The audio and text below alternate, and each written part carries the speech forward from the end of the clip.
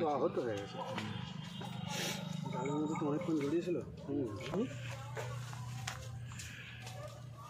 কোনো ধরনের বিপদ কোনো বন্য পরিবেশের বন্য প্রাণীকে কেউ মারবেন না।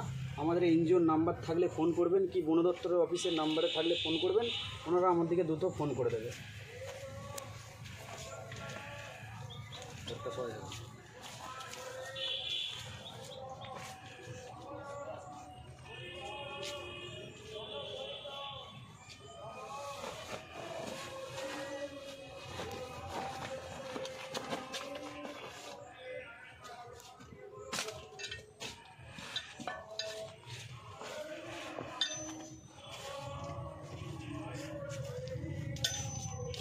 এই অবস্থায় কামড়াতে পারে না পারে না।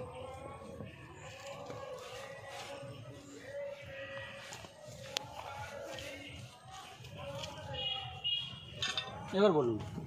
যে